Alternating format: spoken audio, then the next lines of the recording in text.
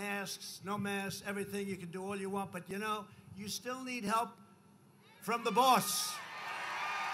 We need help from the boss. That's what happened. We need help.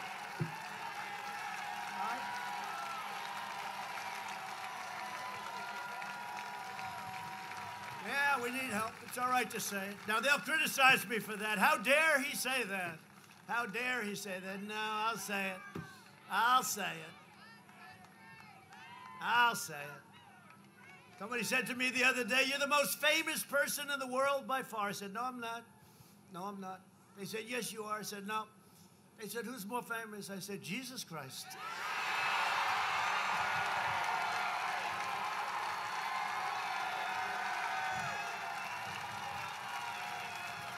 I'm not taking any chances. I'm not going to have an argument. Hey, I'm not having any arguments. Jesus Christ. I'm not going to take any chances. I'll give it, I guarantee. And let me look up and I'll say, and it's not even close. we will stop the radical indoctrination of our students and restore patriotic education to our schools. Right? We will teach our children to love our country, honor our history, and always respect our great American flag.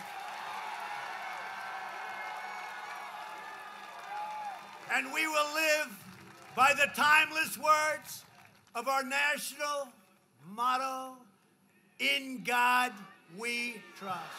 And that won't be changed.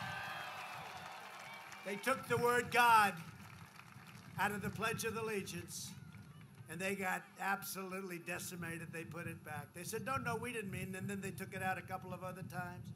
That's where they're going, but it's not going to happen. Not even going to come close. For years, you had a president who apologized for America. Now you have a president who is standing up for America and standing up for the great people of North Carolina.